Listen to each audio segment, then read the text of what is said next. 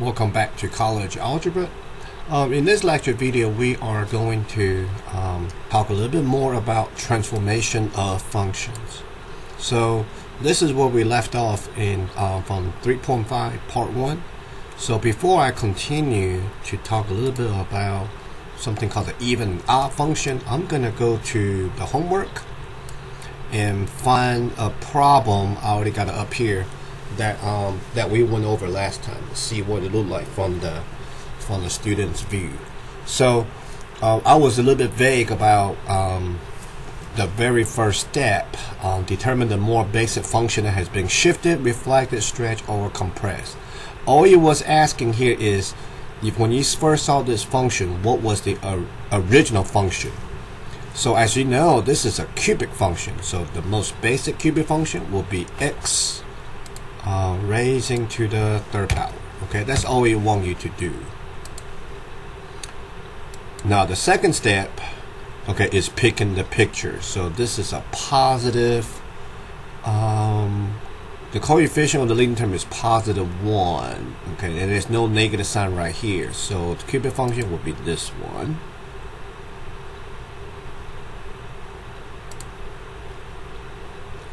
I'm going to guide you to this. Okay, the next step. Okay, so the minus 2 here inside the function tell me that I have shifted to the right 2 units. So you, you see that graph just moved. Uh, there's no stretching, there's no reflection, no reflection, no vertical shift.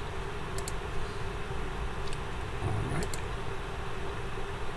Okay, so now do the domain which is from negative infinity to infinity, expressed as an interval notation. So I'm going to start out with the parenthesis, negative infinity, infinity sign right here, comma, infinity. So is my range. Negative infinity, comma, to infinity. Okay. Alrighty. Let me find one that was a little bit yeah there's something like this one. It's a little bit tricky. I mentioned it about the reflection part. So this is another x to the third power. Ah. Go use a keypad.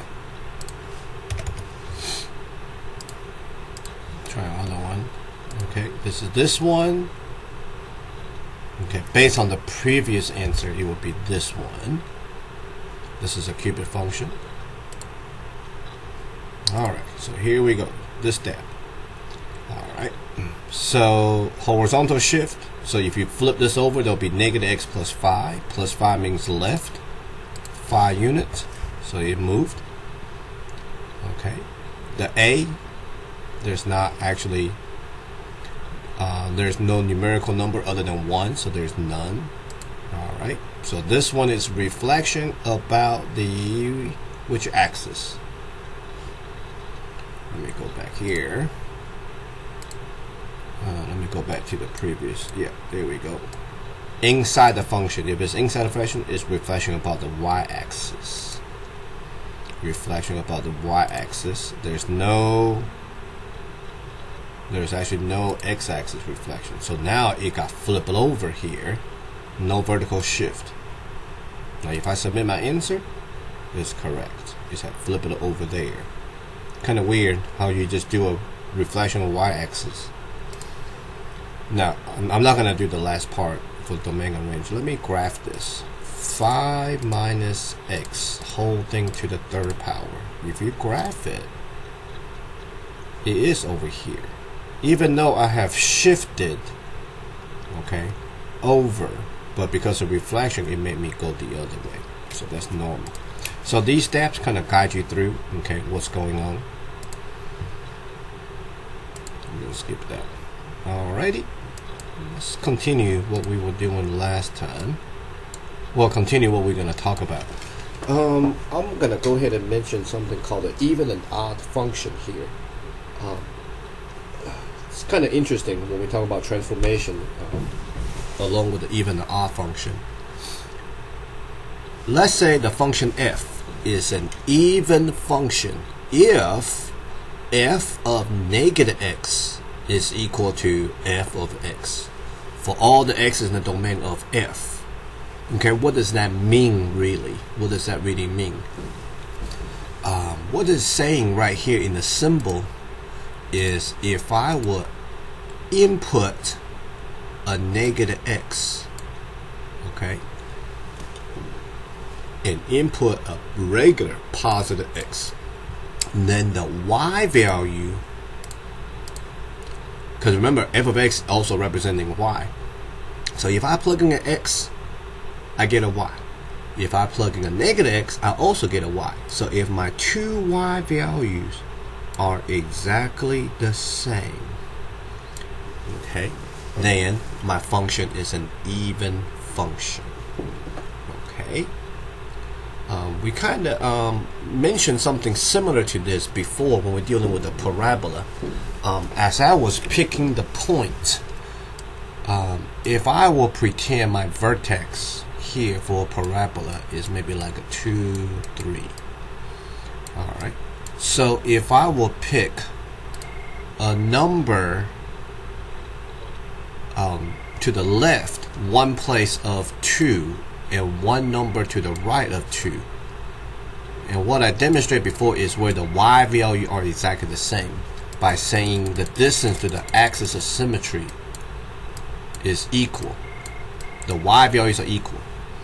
So that tell you that parabola is an even function. If I input a positive x, negative x, and where my two y value are the same, okay, then my function is an even function. Even functions are symmetric with respect to the y-axis or something called the axis of symmetry. Most of the time we say y-axis because um, um, if the vertex is located at the origin. Alright, a function f will be odd if I input a positive x and a negative x. Then my y value comes out. One is positive. This is a positive term right here. If one is positive, the other one is a negative. Okay, if the two y value has opposite sign, okay, then the function is odd. Not just one positive, one negative. It's actually the same y value, it just the signs are opposite. Then that's considered an odd function, and odd function are symmetric with respect to the origin. Okay, so we said that an equation in x and y is symmetric with respect to the y-axis.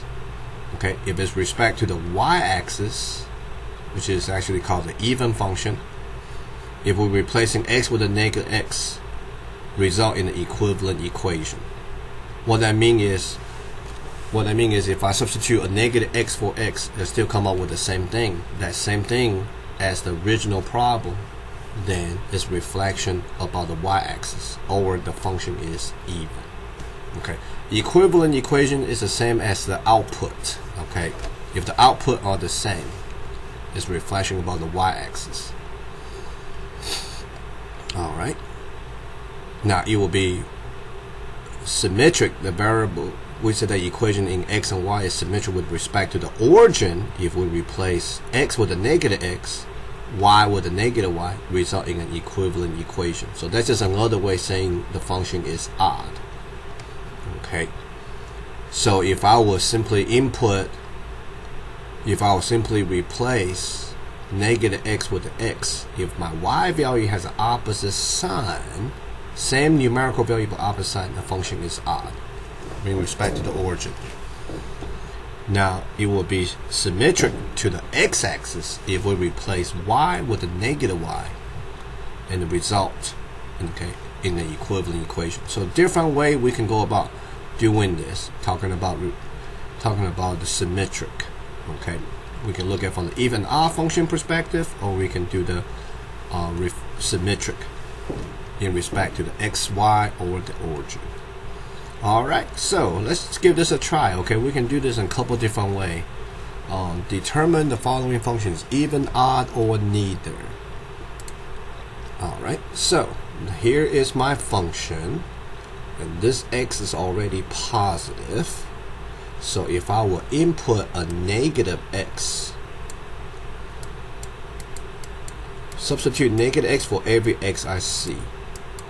So that'll be negative x whole thing squared over 2 and then minus 2. Alright, if I simplify this, let's see what I will end up. Alright, negative x whole thing squared is still going to be x squared over 2 minus 2. So when the output are exactly the same, okay, put a positive x in there, this is my output. Put a negative x, output exactly the same. That tell you that the function is even. So sometimes I say output, sometimes I say y value is, is, is the same thing. Okay, y value is the output. Alright, let's see what about cubic function. Even or odd. Alright, so this is already have a positive x here, right? So all I need to do is check with the negative x. See what the output turn out to be. If I substitute a negative x, that will be negative. Parenthesis, substitute x with a negative x. Whole thing to the third power. Whole thing over 4. So check it out, check it out. Negative x whole thing to the third is still going to be negative x to the third negative x to the third times negative 1 become positive x to the third over 4. Alright, so here I input a positive x. This is my output, which is negative output.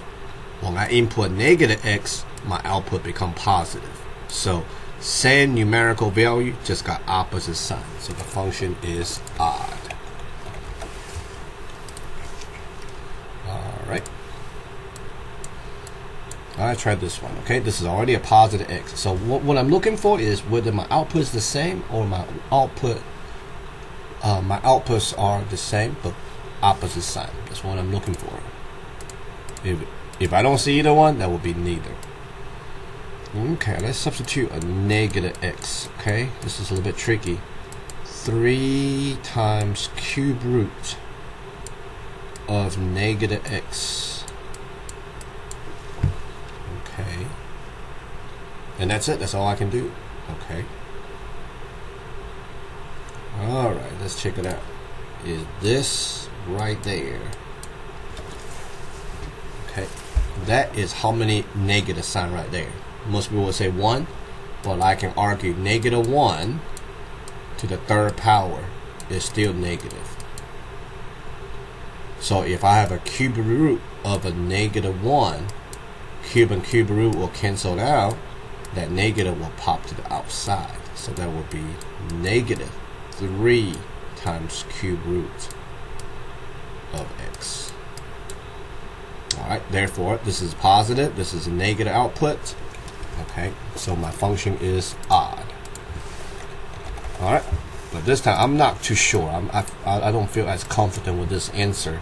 So I'm going to graph them I'm gonna graph um,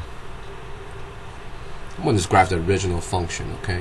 3 times cube root of x. Alright so what we're looking for uh, this is my cubic function excuse me cube root function. What we're looking for is the output. Okay looking for the output output. Alright so here is negative 1 and here is a positive one. My output, one is positive, one is negative. Okay, check out with other number. I'm picking whole numbers. I'm not going to pick something off. Uh, 8. Oh, 8 is perfect. Alright, well, positive 8 for x. Output is positive 6. Let's go to negative 8. Negative 8, negative 8 input output is the opposite sign, negative 6. So they tell me the function is odd. Alright, let's try a rational function real quick.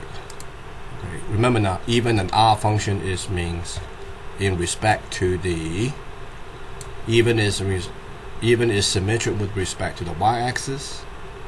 Okay, odd means symmetric with respect to the origin. So tell you what, tell you what. Let me take a picture of this thing I can explain to you what do I mean by that graphically symmetric in respect to the origin um, Alright, so remember earlier I picked uh, 1, positive 1, and a negative 1 for x.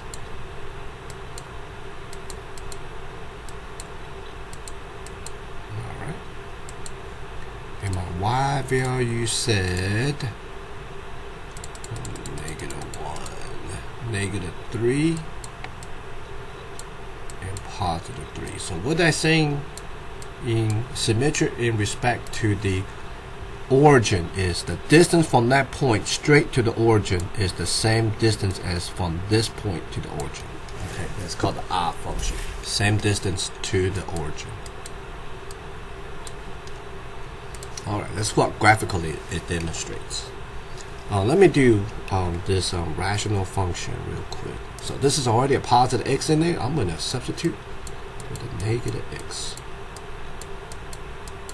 1 over negative x whole thing squared minus 5. Negative x whole thing squared is still going to be positive x squared minus 5. So my output are exactly the same. So this function is even. Now, that does not mean every rational function is even. It does not mean what? Sometimes does not really mean every cubic root function is even. Really depends. Okay, really depends. You really got to test it out. Some functions are even, and I, some of them are just neither. Okay. this is an even function. Let me uh, see if I can find a picture here earlier. I just saw one earlier in the homework.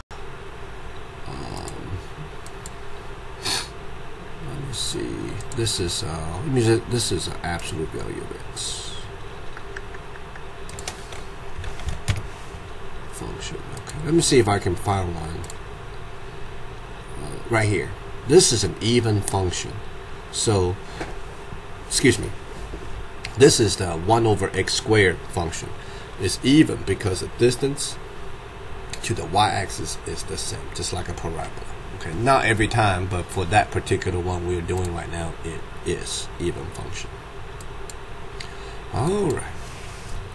So let's say let's say we can determine if the following equation has an x-axis symmetry, y-axis symmetry, origin symmetry, or none of those. Alright, so these are written in equation form. So what we can do is use this part of saying to help us, okay? So I'm going to put it down here so we can all look at it, make it a little bit smaller. Alright. So to be y-axis, symmetric with respect to y-axis, we can replace x with a negative x and see if we'll still come up with the same equivalent equation. Okay, so this x is going to be replaced with negative x plus y squared equal to 3. Okay, so are those two the same? Mm, not really. Alright, let's see. Symmetric respect with x-axis. If I'm replacing y with negative y so that y squared becomes negative y whole thing squared. Plus sign still there in front.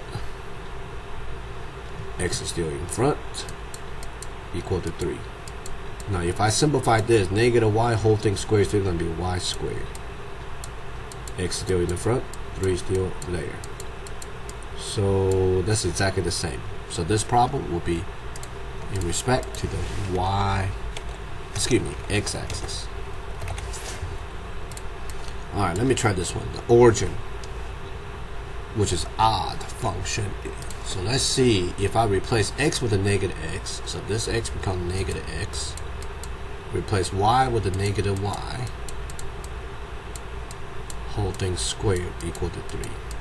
So this is going to be negative x plus positive y squared equal to 3. So does it result in an equivalent equation as original problem? No. So it's not symmetric in respect to the origin. So my answer is symmetric to the x-axis. Okay, that's how we check them one by one. Okay, that's how we check them one by one. Alright, this is a linear function okay this is a linear function. That function right there I think is gonna be a see if I would look at this function earlier mm, you see I would be saying y squared equal to move the x over get negative x plus 3 take a square root on both sides. Y is equal to a positive and negative square root of negative x plus 3 so this one was a square root function. So if I were typing a regular square root of negative x plus 3 alright and then the second one is a negative square root of negative x plus 3 well, I'll make my second line darker. I'll do a double line here then so the first one is the positive one go that way this is the negative one you see these two are symmetric in respect to the x-axis. If you flip this over, you become that. Okay, that's another way you can do it. Alright, this is going to be a linear function. Um, but I'm still going to check it like this, okay? Alright, let's see if it's in respect to the y-axis. Alright, replace x with negative x. 2 times negative x plus 2y equal to negative 2. Alright, if I simplify this, then this is going to be negative 2x plus 2y equal to negative 2. So is this the same equation as the previous one? Nope. Alright, let's replace y with negative y. 2x plus 2 times negative y equal to negative 2. I think if I would simplify this, that would be negative 2y minus 2. So that's not equivalent equation. So it's not even symmetric with respect to the x-axis. I'm going to take the positive x and positive y, replace them with negative x and negative y. Let's check on that.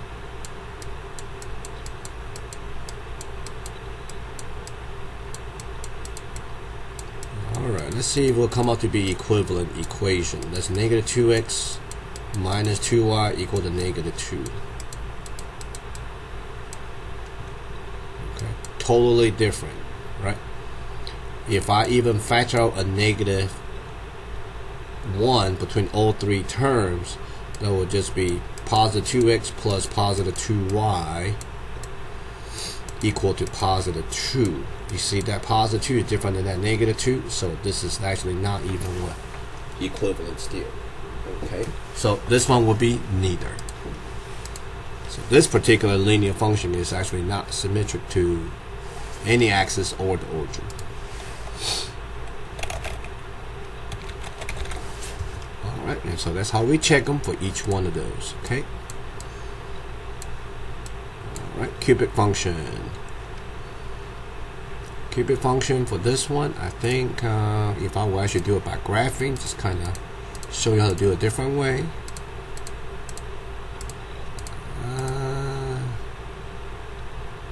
Okay, so that's the origin right there. odd function, cubic. Cubic function is odd.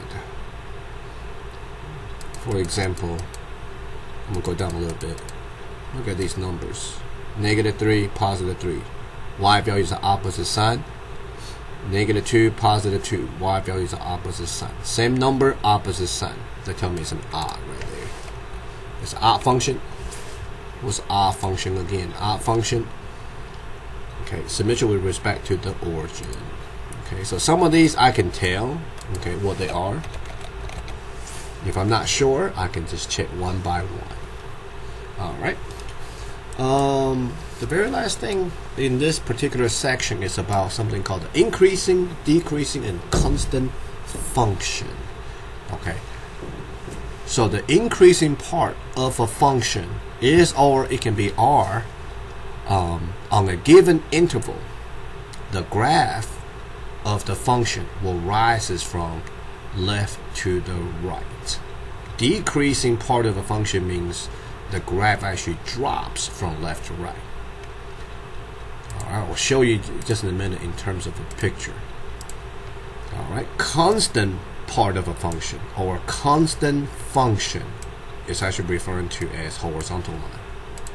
So if you ever see a function that simply say f of x equal to 4. Okay, that is referring to y equal to 4, which is a horizontal line. So horizontal line is always called a constant function. Okay. Alright. Only use parentheses for the interval. Interval, open interval means on the x-axis. Okay.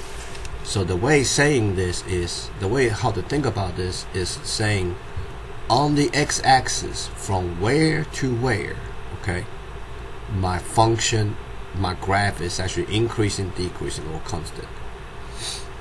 Okay. Where on the x-axis, where on the x-axis my graph is actually increasing, decreasing, or constant. Alright, so the best way to do this is actually um, graph it. Okay, but we can also um, do certain things that can help us here. Let me grab this function real quick. x plus 4 to the fourth power then minus 3. So the minus 3 right here, okay, by, by transformation, minus 3 tell me I have shifted downward four, three places. The plus 4 here has tell me the function has um, shifted to the left four places. So my vertex, my h and k kind of idea is negative 4, negative 3. So now when I graph it, okay,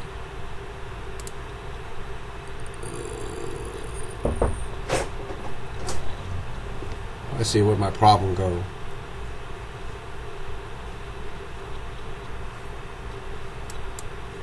Right here. Oops, sorry about that. Let's see where my problem go. Right, so here's my function.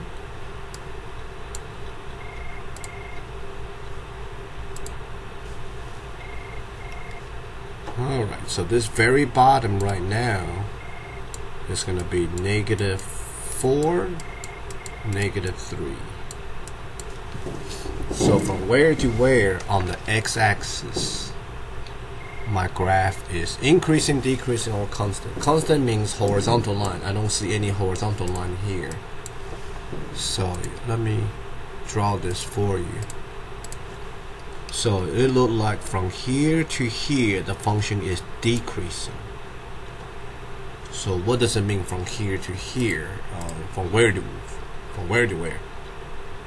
All right, left to right, left to right, from negative infinity all the way to negative four. It's dropping from where to where on the x-axis. So that's from all the way from the left to this point, negative 4. The function is dropping.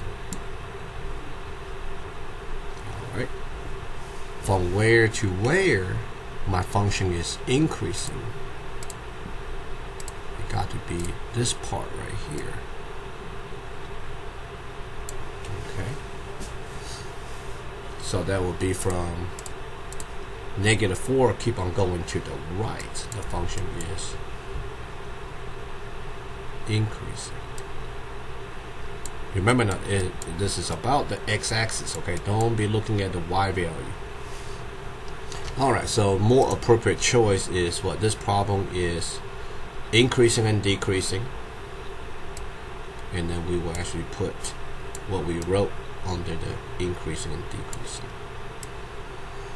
Alright.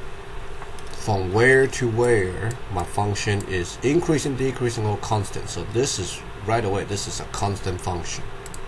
So this is going to be a horizontal line Alright, so this whole thing stays constant. So y is equal to negative 8. This is my constant function. So let's go back to the choices here. So you will choose constant. Constant from where to where? On the x-axis. On the x-axis. From negative infinity to infinity. Alright, let's try this rational function real quick. Remember now, restriction on the domain, my x cannot be what positive 3 here, because that will actually make a make the whole function undefined. So we say negative 3 divided by parenthesis x minus 3. Look something like this. Okay, see that minus 3 right here? Tell us we shift it to the right. Okay. Alright, let's see.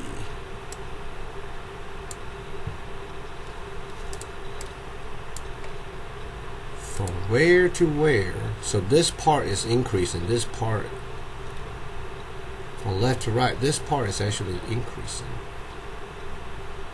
Okay. This side right here, yeah, this side right here, it does look like, um,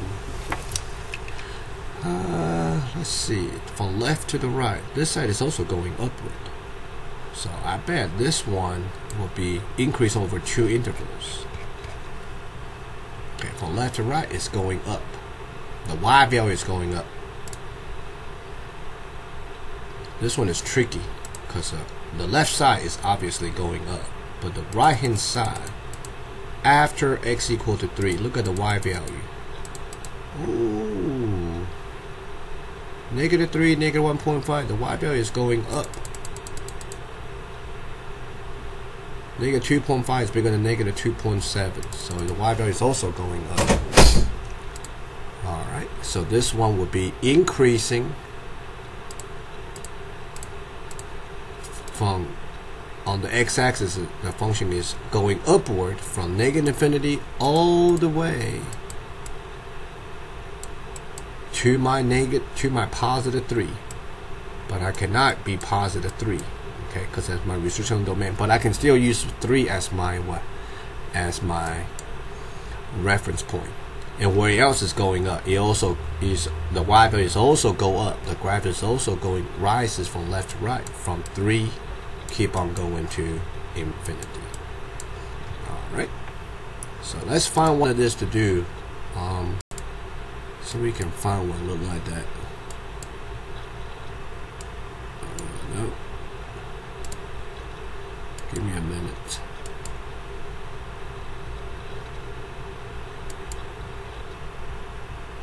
Alright, this is 1 over, let's see, this is similar enough. Let me try some more. Let's see if we can get one. There you go. Alright, so let's try this one. Okay, I'm going to graph it for you. Remember now, this x cannot be negative 4, okay? Negative 3 divided by parenthesis x plus 4.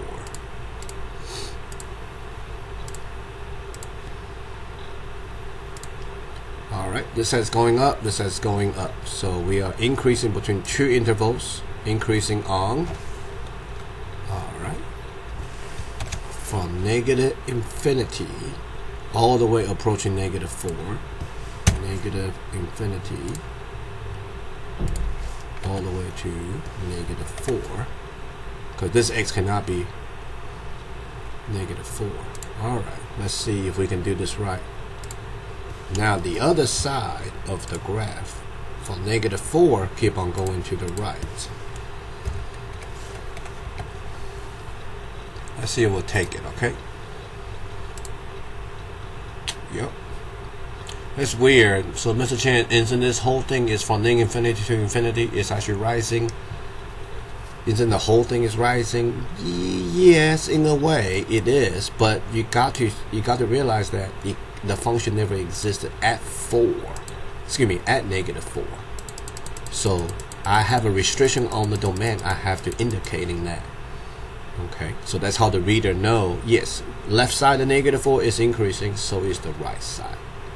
But but the restriction is actually located at negative 4 okay by writing the interval notation. Alrighty so that will be it for this particular